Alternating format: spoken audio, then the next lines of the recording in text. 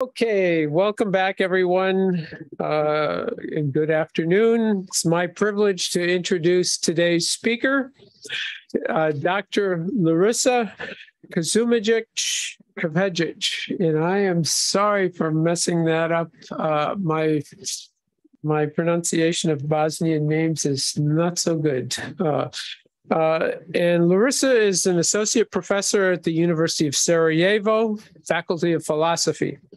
Uh, widely recognized for her work on the pedagogy of post conflict peace and reconciliation, Larisa's peace building engagement began during the war in Bosnia and Herzegovina with the co founding of an organization named SESAM.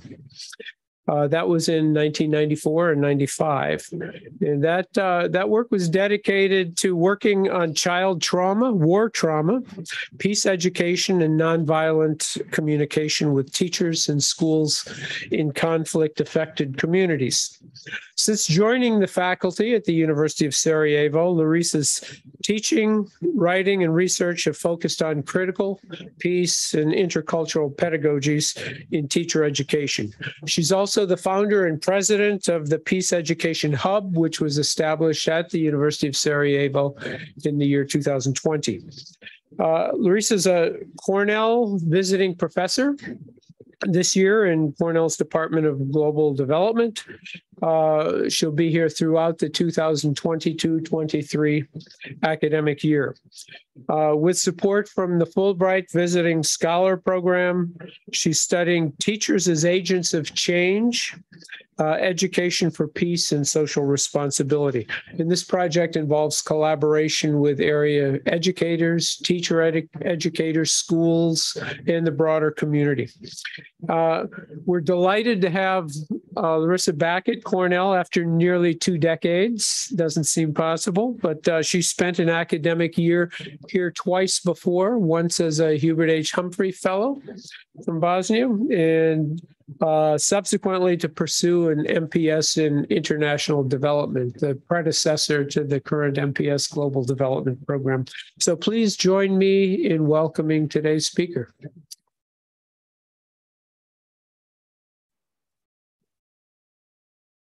Thank you, Terry, so much. It has been a real pleasure and real honor, true honor to be back to the community of Ithaca and also to be back to the University of Cornell after almost two decades and to see some of my mentors and some of my colleagues and uh, family members here in Ithaca who have supported my work back then 20 years ago and who continue to support my work and endeavors now uh, that I came and revisited uh, Cornell and Ithaca Ithaca with some new ideas and new projects uh, on the table.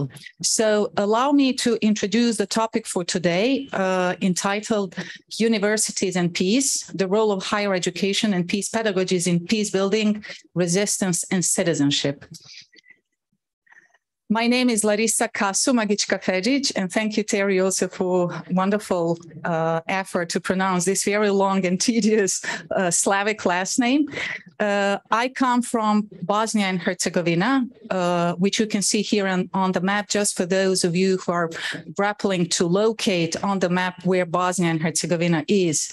So you can see all these uh, European countries uh, that we are surrounded with. we are in the southeast of Europe surrounded by Croatia, Slovenia, Serbia, Montenegro, uh, Macedonia, uh, the republics or the countries that used to comprise the former Yugoslavia, the country in which I was born. But also you can see other European countries further in the north, but also surrounding all around uh, the, the, the part of the state of Bosnia and Herzegovina. And on the right, you see uh, the Faculty of Philosophy uh, and the University, the Rector's Office of the University of Sarajevo, on whose behalf I have actually applied for uh, Fulbright and I have been awarded a Fulbright Fellowship to come and present this institution, but also uh, discuss the work that I have been uh, involved in for more than, I would say, for almost 30 years now. And I'll speak a little bit today in my lecture uh, about that history that is integral to my teacher identity. So this is the outline of my lecture for today. Where you will have to see, uh, where you will get a chance to see how history has played a very important role in my own teacher identity and how that has played out uh, in terms of my commitment to peace education and peace values that are still strongly held in my uh, educational philosophy and also in my commitment to peace education. You will also see uh, the vision for future global community of educators that I have integrated uh, and relied on this personal experience, professional activities that I have undertaken for more than two decades now. So I will be discussing the positionality of me as an educator, as a teacher, a teacher educator, and practitioner, because this was my early work in peace work. I will also briefly uh, mention the historical and social context for the development of peace activism in my own professional career, but also of the peace activism within the frameworks of educational system in Bosnia, but also globally in the world. I will touch upon briefly on some of the theoretical foundations for peace learning, peace pedagogy, and peace education by also discussing and unpacking the critical considerations of the role of universities in conflict and peace, which is the major and uh, central focal point of my and, and goal of today's lecture. I will also uh, briefly discuss peace pedagogy across the curriculum in formal and non-formal education, and I will also demonstrate how these bridges have been made, not just in Bosnia, but also globally, how they can be replicated and critically thought through in some other uh, community and educational contexts. And I will present uh, an example of a comparative international research project that I was involved in that was entitled uh, Universities and Peace Hubs, uh, Higher Education Pedagogies for uh, Peace Buildings in Institutions of Higher Education. And of course, I will conclude with some recommendations and some visions for the future in connection to my work. Uh, just to give you a little bit of traveling, uh, since I represent the University of Sarajevo, as I said, and this is the city that I have been missing also uh, for some time now, as I have uh, moved here with my family since three months ago. And uh, this is the city of Sarajevo, the capital of Bosnia. Uh, as you can see, it's a very beautiful city surrounded by beautiful Winter Olympic uh, mountains. So if you remember, I'm not sure if any one of you remembers 1984, the Winter Olympic Games, the World Winter Olympic Games that took place in Sarajevo. So we were very proud at the time. I was a young girl, but I still vividly remember some of these memories from the city of Sarajevo. And you can also see in this picture how uh, history and cultures have played very important role in shaping the architecture, but also shaping uh, the history and the the culture of Sarajevo, but also of other places in, in Sarajevo and in Bosnia in general. And in this image, I also wanted to emphasize the diversity of different religions, which is also integral to the work that I do through peace education and intercultural pedagogy and intercultural learning, where you can see uh, the religions that have been living on the soil and in the territory of Bosnia and Herzegovina for centuries now. And we have three major uh, religions, including Islam, uh, Christianity, Catholicism, and Orthodox uh, Christianity, as well as Jewish communities, but also some other minorities living in Bosnia and Herzegovina for a long period of time. Of course, this situation has been worsened and has been uh, deteriorated as a result of the war. And I'll also speak briefly about some of these consequences of the war on the diversity in, uh, in communities and within in the education system in Bosnia. Uh, the first element in connection to my positionality as a researcher, as an educator, as a teacher educator, and as a teacher, which is my basic vocation, my primary vocation, but also as a community peace activist, which pre uh, preceded uh, my professional development as an educator through formal education uh, formation and, and experience. I wanted just to briefly mention, uh, because this lecture will not be about the war in Bosnia and Herzegovina, since a lot of that has been written about the war in Bosnia for many years now. But it's also an inevitable and really important aspect to be mentioned within the context because this positionality of me as an educator in Bosnia and Herzegovina with the experience of the war is deeply defining my own identity as a teacher and my own commitment to the philosophy of nonviolence and peace education. So here you can see some of the elements of the memories and of the legacies of the war that took place in the 90s in Bosnia and Herzegovina. So I, uh, the war found me in the senior year of uh, high school, in the fourth year of uh, high grammar school, gymnasia we call it which was a general education high school. Uh, and it was sometime in April that the classes shut down. And uh, officially, I never actually had a chance to uh, do my final graduation in high school because the, the school was, you know, locked down, closed down, and we were sent to go home. So the experience of the war for several years in Bosnia in the 90s at the formative age of my own personal and professional development at the time as a young teenager deeply has driven my own uh, vision of uh, many of the programs and many of the ideas that I have later on incorporated in my own uh, peace education work. I also put here several of these images of the houses because this was my early work as a community youth educator. So I did a lot of work on child trauma that Terry also introduced in the introduction. So as a young teenager, I uh, had this gap in education basically because I couldn't go to school for four years due to the fact that the Sarajevo was under the siege for almost four years. And being at the age to be adequate for university training and university education and not being able to actually pursue my education at the time, I got involved at that early stage of my professional development as a young activist in the, the field of psychosocial support for war traumatized children, which I did for several years before I assumed a position later on at the university and before I actually came for the first time here as a Hubert Humphrey Fellow. So these images of the houses and the shelling and bombing of the cities were very common themes of the children that we worked with. And I worked as a, I, I was one of the co-founder of that local NGO that actually emerged out of the international program, uh, International Medical Corps at a time that provided psychosocial support for war traumatized children at the time of the war in Bosnia.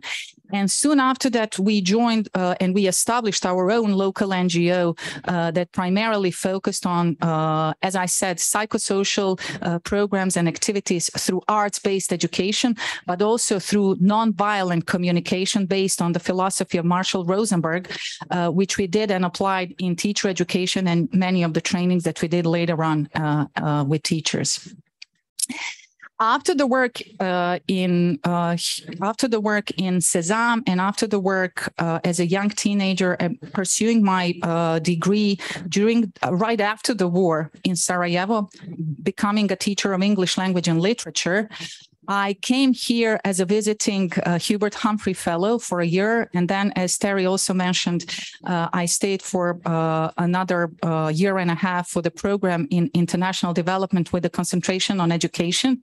And I'm mentioning this project as well because this, this idea and this uh, mission and my commitment to peace education has been deepened with the experience uh, that I did here at Cornell because I also undertook the research in Bosnia trying to design and develop uh, the educational program for post-war healing and reconciliation with youth and children in Bosnia. So my project as a final thesis here at Cornell was also related to post-war healing and the work with youth and children in connection to post-war reconciliation and post-war healing. During my Humphrey year, I have established a connection to the organization Facing History and Ourselves. I'm not sure if anyone is familiar with the program, but this is a Boston based educational foundation.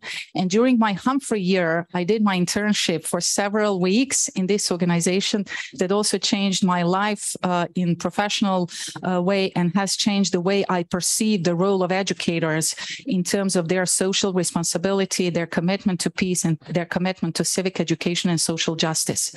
So I did, uh, I think, six weeks of the internship, which was a mandatory part of the Hubert Humphrey Fellowship. But since then, I have established very strong connection in facing history, and their international uh, program director is also supporting the work of Peace Hub uh, that we have established since several years ago, also at the University of Sarajevo. So I wanted to demonstrate these long-lasting connections and relationships that have sustained and that have survived over time uh, a lot of challenges and also sort of uh, framed, as I said, uh, the educational philosophies that I decided to follow and integrate in my work. Uh, all of that as my previous experience. And I thought that this is really important to make this clearly as my position as a researcher within the specific historical and social and political context with my own personal experience, but also some of the professional endeavors that I have undertaken along the way all of that has made me very interested in uh, educational system in Bosnia and Herzegovina that I have started to look from the researcher's point of view, but also as someone who has been experiencing and teaching and knowing the system from within. So I started researching educational system. I uh, started writing about educational system in Bosnia, and this is just uh, these are several uh, principles or several elements that are still deeply defining uh, the situation in Bosnia in connection to uh, some of these educational practices.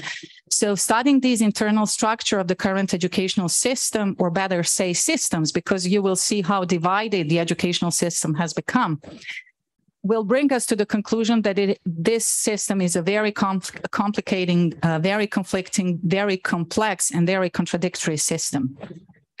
And in the international literature of education, it is also considered as a unique system of uh, education, but not for good reasons, really for complicated political reasons that have made the structure of educational system very unique in, in a way that it's deeply fragmented to tiny little pieces. And you'll see how that's, that is also preventing the processes of healing and reconciliation.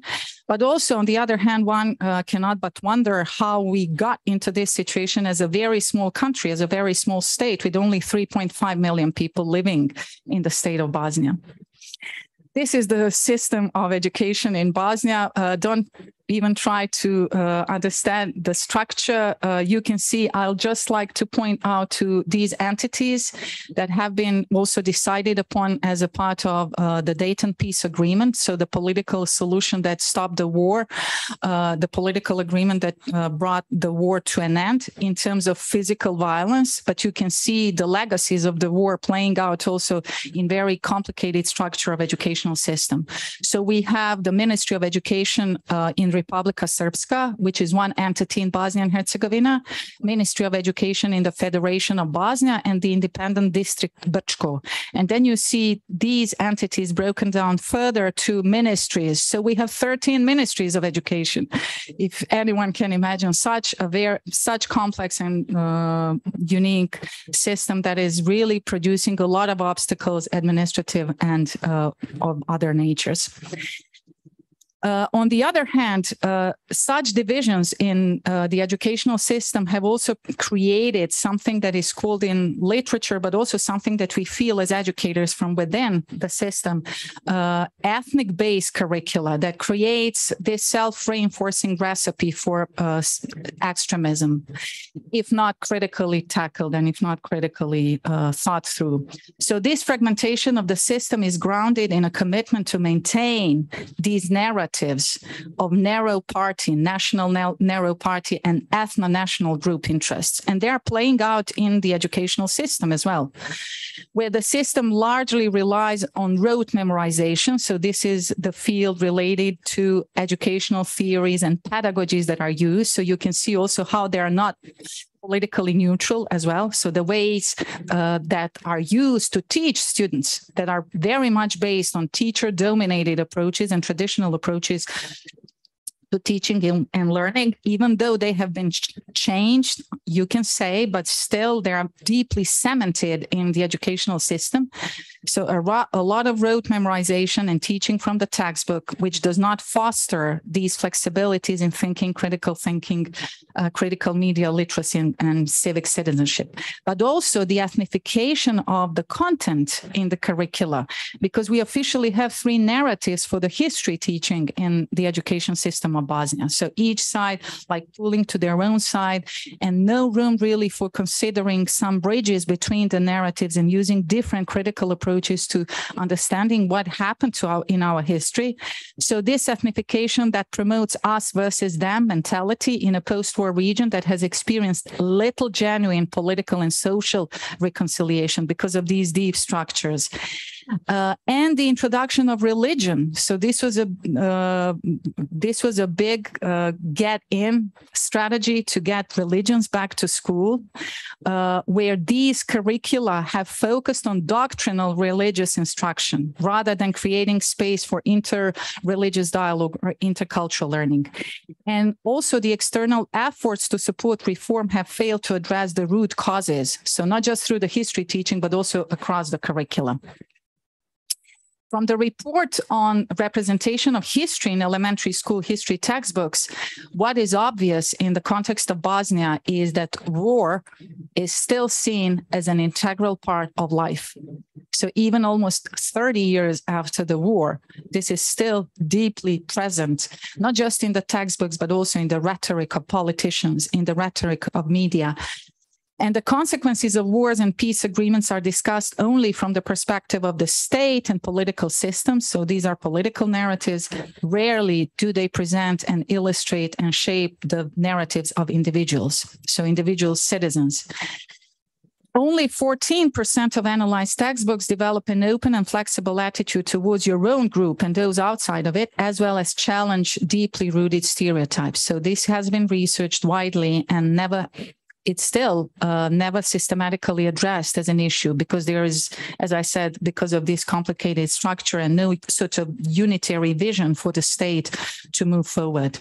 And on the other hand, when it comes to research, relatively little research on how peace resources circulate among BH educators. What is the role of school leadership in creating peaceful schools? This is a very important and big uh, pillar in understanding the role of schools. And also, what are the impacts of peace education? On participants and society as a whole. So we need more holistic strategies in terms of understanding these politics. So what are the important lessons of this context, of the political and social context? Uh, important lessons go in line with understanding that violent conflict can change and disrupt everything, literally everything that we regard as normal because uh, the toxicity of the toxic nature of violence creates something of a coping mechanisms for people to cope with something that is diagnosed as an illness, as a disease of war. And these conflict situations can have very extensive effects that are sometimes visible, but sometimes a lot of times they are still invisible, even 30 years after the war. But they, they can be they can be described, they can be targeted, they can be identified and they are related to the strategies and ways people and communities think about their past, about their present, about their future, but also how they feel, how they remember the past experiences, their personal memories of the war and the memories of the state, of the country, of the divisions, but also how they function in on a daily basis in connection to these memories. These long-term dislocations the forcibly dis- forcible displacement, severe traumas, war traumas, and fragility can further complicate the issues that need resolution. Education, in that sense, this is a very important lesson also and has been researched from different angles and different case studies globally. Education is never neutral. It's never neutrally, you know, we even if we say that we follow a political strategies in education, uh, these positions are never neutral and neglecting the role of education in peace building can either contribute to cycles of conflict. So this is research in theories uh, where education is seen as an accomplice an accomplice to conflict. So supporting conflict strategies and rhetorics and really dividing further the societies, or it can be seen as a generator for peace education and peace values. Proactive approaches to peace building can increase resilience and provide valuable opportunities to rebuild, to heal societies, and also to grow as individual human beings, as citizens, but also as societies. And these strategic responses to violent conflict must think systematically. This is an important point that I'm trying to make here today, systematically in terms of generations and decades because uh, some researchers are claiming that we're always between two wars. It's just a matter of the distance between these two. So, uh, on a more positive note, let me give you some good examples from practice that I have been involved in. Uh, but I think it was really important to position the research and the project that I have been involved in and all these, these professional activities. So, this is one example of the research project that I got involved in that uh, included uh, four universities. It was a comparative international research project entitled Peace Building Pedagogies in Higher Education. And it was initiated by the University of Sussex in United Kingdom. Uh, University of Kigali in Rwanda and University of Los Andes, Colombia and the University of Sarajevo, uh, including me as a representative of the university, was uh, working closely with these colleagues from other universities. And we did a two year project where we visited each other's sites, not necessarily all of them. The pandemic came, we couldn't go to present the results in Great Britain, but we managed to travel to Rwanda and the uh, participants of the project managed to come to Sarajevo. So we had series of different workshops and activities with some of these goals that I put here, that I listed here uh, on, on the slide, we had an idea to develop peace hubs of academics from our different countries and regions, and also different disciplines that we were representing, in order to discuss and reflect on how we might develop a culture of peace building within the higher education uh, institutions with the students through educational initiatives, but also through collaborative research projects in peace building pedagogies. So we were working really hard to document good practices at the university level that used some of the most effective and inclusive peace pedagogies through different subject areas and across the curriculum. And we also wanted to work on educating students and teachers on how to work for peace and nonviolence in their classrooms, in their schools, and in education in general. And this whole project uh, resulted resulted in a publication, Pedagogies for Peace Building in Higher Education. How and why should higher education institutions get involved in teaching for peace? For those of you who would be interested in checking what we wrote and how we compiled and uh, documented the results of this important initiative and this important uh, project, it's an open resource, uh, open source educational link. As a result of this initiative, uh, right before the pandemic, so several years ago, I started Peace Education Hub at the University of Sarajevo as the Center for Peace Education after so many years. And you could see a long way of my personal and professional activities uh, with something that I have always cherished as a vision of the importance of having and launching and really putting this as an inception, as a seed within the higher education institutions to have something which will be the program for institutionalizing and internationalizing peace education. And as you could see, no big talk and no big reflections have been done. Individually, yes, but institutionally and internationally, with the goal to connect Bosnian case study with other international good practices, were lacking in the context of education in Bosnia and Herzegovina. So let me just uh, share with you several of these uh, elements that were really pertinent and important in our mission and in our program that we set up as uh, the program vision and program activities. So we thought of, we are seeing the Peace Education Hub Sarajevo with a potential with a potential for meeting and training small groups of students to start off with small groups of teachers and community members. So you see here the link between the university and the community. And this is where my training in global development and international development but also my own professional experience as a community uh, youth worker is coming in place. So bridging these gaps between the universities and communities in order to work for the peace building and build these nonviolence programs. We also see Peace Hub as a platform to support teachers of different subjects in focusing their action research and teaching on societal conflict and peace building issues, values education, building stronger partnership with civil uh, society organizations, because we have a lot, a great number of these programs also within the Bosnian context. But rarely do we address the issues of peace education through the institutional formal education perspective. Uh, we also thought that Peace Hub could work on developing and strengthening the connections with universities, peace centers, teachers institutes, and different educational institutes, not just uh, regionally, but also internationally, which is also one of the goals that I have set up for my uh, Fulbright year while here at Cornell. Uh, but also you can see several others because I'm watching the time. I want to give you some other important issues. So you can see a couple of other things that became very important for our work. And as part of our strategic planning in the Peace Center, uh, in our hub for peace education, we put at the heart of our strategy promoting culture of peace and nonviolence in the use in the context of uh, education and values development international cooperation but also seeing regional hub as the center for excellence and resource center in peace education that could contribute. You see some other goals here that are like overarching and these are long-term goals. So we are we have a long way to go there. And also infusing some of these elements through something that we call in Bosnia PPDM, which are the competencies for teacher education in didactics, uh, psychology, developmental psychology, teaching methods, and education, general education, opening dialogue about peace education through strategic cooperation with other partners, integrating culture of peace in teacher education curricula through internationalizing and institutionalizing peace education. And you also see here, this is a part of our strategic planning, uh, some possible responses to some of the uh, problems and issues that I also framed in the beginning of my talk. Our partner organization in Peace Education Hub is a local community organization, which is in the, the international organization Forum ZFD, which is recognized uh, regionally across Europe, but also internationally.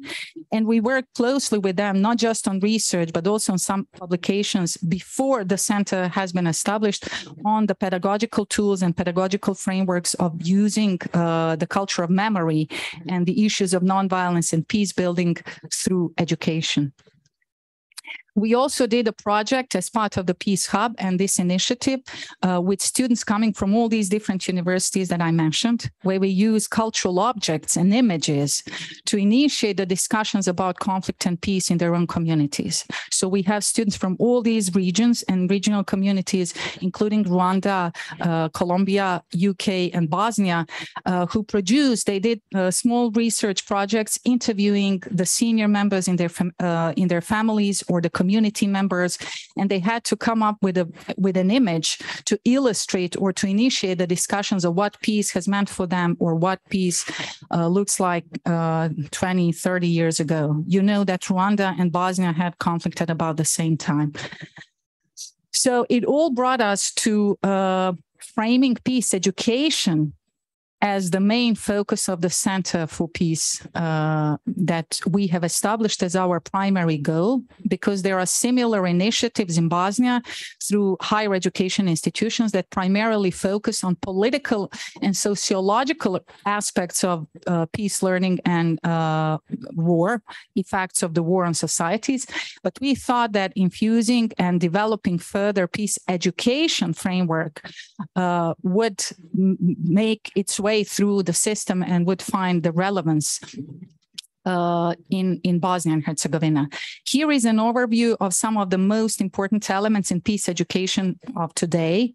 So there is a consensus that uh, there are common core values of uh, in connection to peace education that are closely related to specific knowledge, values, attitudes, and skills that you that we want to infuse through peace education for our students. It is also an international ideal because there is a uh, 50 plus years of the work in the field of peace education, uh, of lots of theory, debates, and discussions around what is meaningful and what is useful and what is effective in specific contexts. What is generally agreed upon is that negative peace, so just the absence of physical violence, is insufficient for democratic processes and for the processes of healing and reconstruction of societies. So we have to think in terms of positive peace strategies for infusing sustainable societal well-being. So this has to be strategic and systemic. What is less agreed upon that inner peace uh, is also very important and what its place is in peace education practice and research.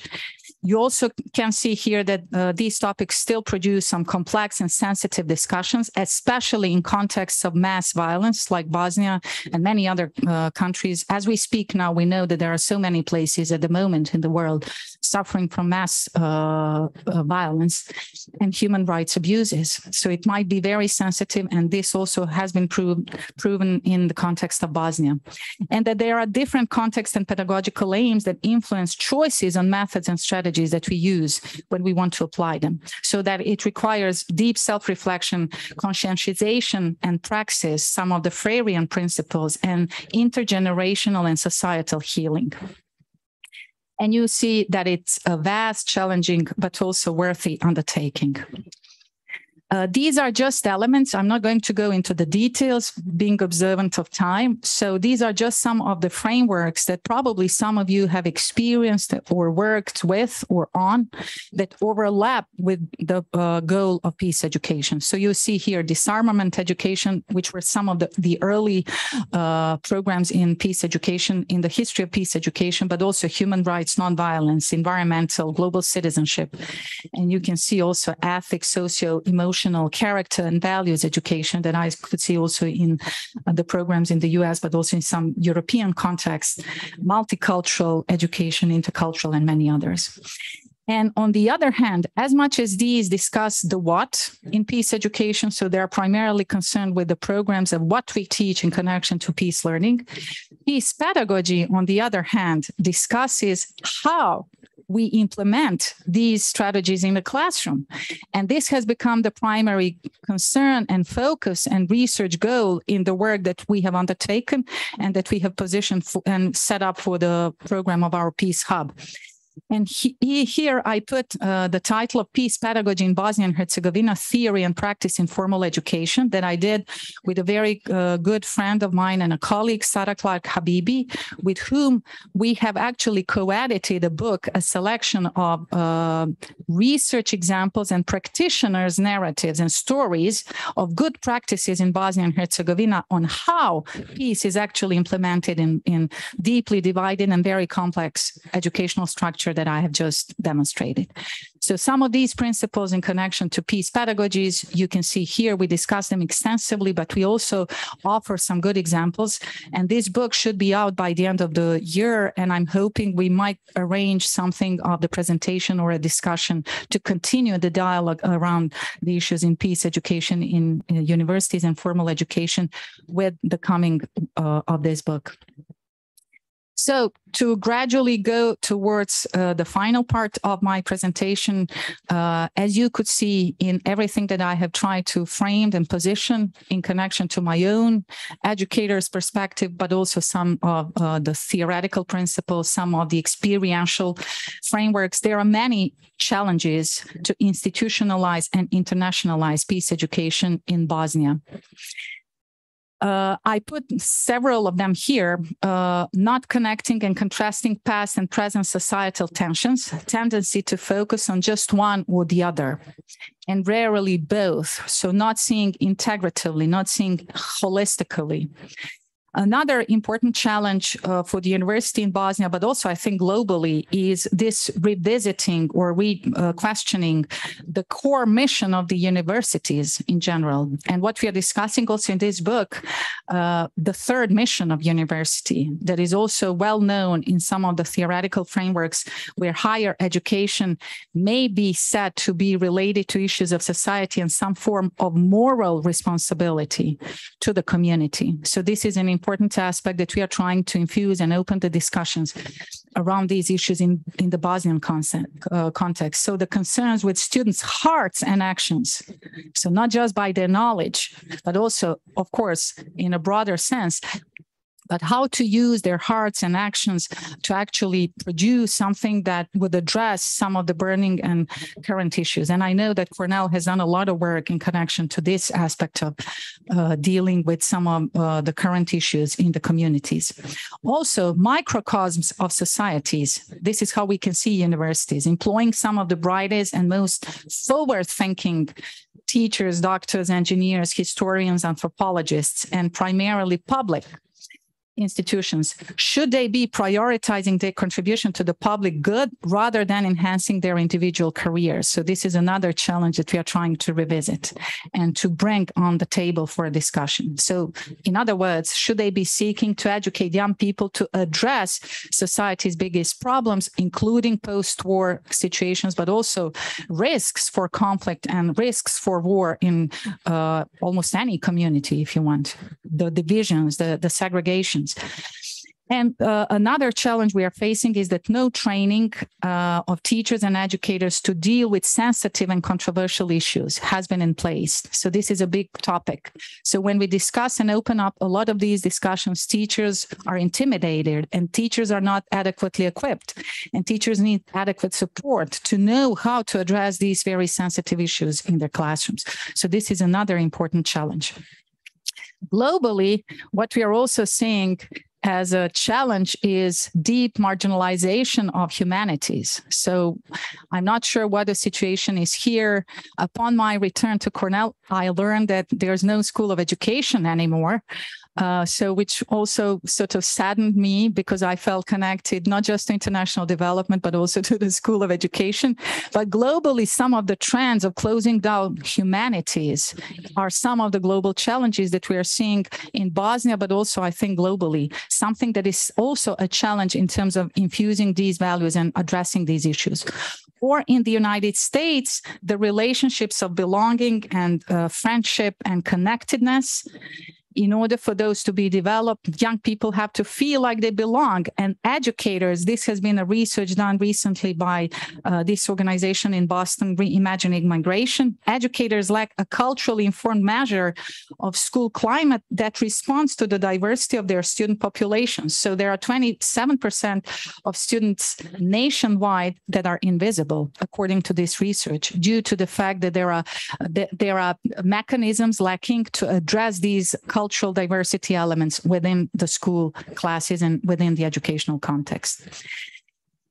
And if you allow me just to extend for several minutes, because I'm already, if I get the consent from just few more minutes, because I have some final remarks, just one final remark. Yeah, go ahead. We'll have, we have to. uh, Yes, yes, but just, okay, I can finish with this uh, slide because I had several other, but I can finish with this uh, slide just to sort of bring out an important, to emphasize an important message where the role of universities is in connection to not just near term uh, situations where we are addressing the issues of conflict in countries that are immediately affected by the conflict or the devastating war, like the situation in Bosnia during or right after the war.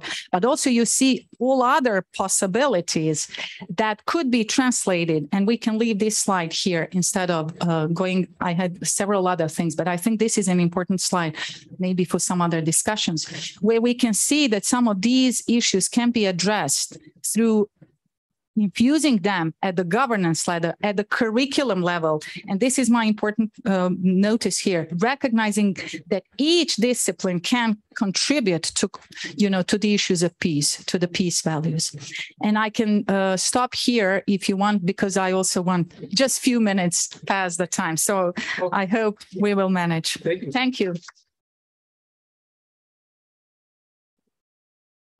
Thank, thanks very much. Uh, before I forget, uh, I, I know a lot more you'd like to share, and I know some of the people here would like, thank you, uh, would like an opportunity to, uh, to speak with you about that. So, uh, as in some past weeks, uh, we have an opportunity for some students to join uh, our presenter uh, for lunch right after this. Uh, Meet in room, So it's Mann one oh two, it's the room Yeah. across from Mann Cafe. okay, Mann 102, right across from Mann Cafe. You can go there. Uh, Jenna will come in, take some orders and, and you can have some food together and, and continue this, this conversation. So uh, uh, we, we have uh, limited time, but uh, uh, a question. There's a Yes, okay, I'm sorry. Yes.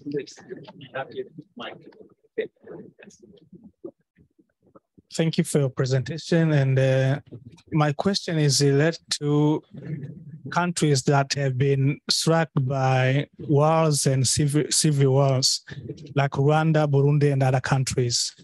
There is a commission in charge of uh, truth and reconciliation in Burundi. And then their role is to see if they can bring up out everything that happened to put like a light on everything so that maybe uh, the next generation can know what happened. But also there is a different version of history about uh, some countries whereby those who came out with the, the curriculum of history were focused on one point forgetting another or some speculations i don't know. And my question is what's the good approach come out with the, the history of what happened and the truth on what happened and w- what can we do to address issues. If i know that somebody that person is the one who killed my family so how can we handle those things Yes, thank you very much. So this is also, I'll try to briefly uh, comment on this so we can take another question as well. So uh, the situation, as I mentioned briefly, if you notice, this is also a very big controversy in Bosnian context. So dealing with different narratives of the historical memory and also discussing how history is taught and how history is integrated into the curriculum. So it's basically the language of peace, how you language around the peace education issues and how you language around, you know, what had happened. So about the memories and the legacies of the war.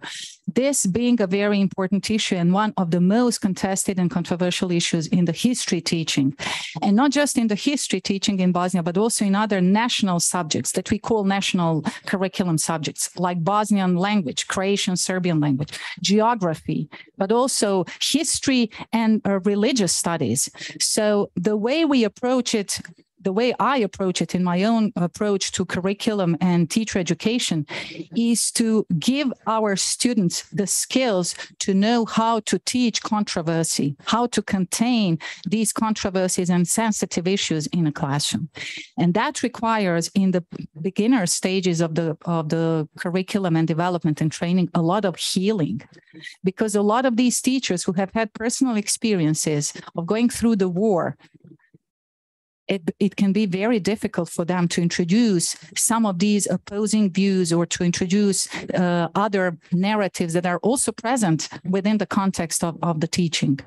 So a lot of pedagogies that I also listed some of them that are inclusive, that are post-war healing pedagogies that teachers themselves have to go through in order to first understand their own positionality in the context of the curriculum and their positionality in the context of teaching and addressing these issues, then to be able to give their students critical thinking skills, critical analysis things, uh, but also the values of empathy and peace that we also want to infuse through these curriculum uh, frameworks.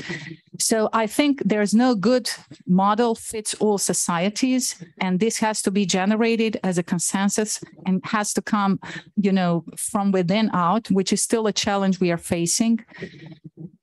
That's the best and the fastest I could get as a comment to your question. Thank you. Uh, we have time for one, one more question. The good thing is that We will continue. Larisa is here all year. Yes, that's She right. has, she has an office in uh, B seventy-five Mann, and so. uh, Yes. There there will be opportunities for you to uh, have a conversation uh, about these uh, in the weeks and months to come. I saw another hand back there, I think. Is it one online? Okay. Second one. Okay. Uh, we have a question from one of our, uh, uh, webinar, uh, participants. You mentioned difficulties faced by teachers. Uh, do you plan or envis- en- envision a special, uh, teach the teachers session? Abs- uh, you mean while here at Cornell or just generally? I- I- We're not sure. But definitely teach the teachers. This is absolutely something that we envision as a teacher educator myself working at the University of Sarajevo. This is the exact, the exact framework that we have been developing. Uh, we are working closely also with some teachers from the University of San Francisco. Professor Judy Pace, for example, is an active member and supporter of our Peace Education Hub, who has specialized in teaching controversial issues. She has even developed a course on teaching controversial issues at the University of San Francisco. So we are trying jointly and collaboratively to frame and to see what are context specific issues that our teachers are grappling with in the context of post-war Bosnia, even 30 years after the war, still finding some of these issues very contested and sensitive. So we are definitely trying to adequately frame some of these teacher education and teaching the teachers uh, frameworks as part of initial pre-service teacher education program, but also to offer them through our Peace Education Hub as activities for professional development of teachers. Uh, if anyone is interested, you can also email to me. We have summer schools for peace pedagogy that are international and global. So if anyone is interested in joining and participating, we have had those held online since the pandemic. We are trying to combine and uh, keep the model of hybrid uh, schools in the coming years. So please feel free uh, to to just email to reach out, uh, so we can also see of the possibility of having of having you as participants. I don't think we have to uh, be in a, a post-war situation to imagine uh, the, the value of, of some of these skills, how to uh, manage controversial topics, uh, even in our own country the United States today. So uh, thank you so much uh, for your presentation, Marie. Thank you, everyone, for your time and for your attention.